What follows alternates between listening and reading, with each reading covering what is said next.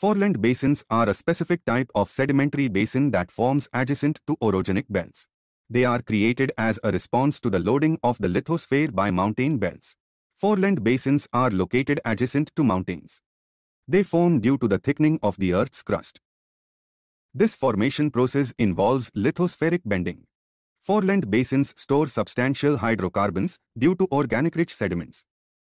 For more interesting facts, follow Unacademy X.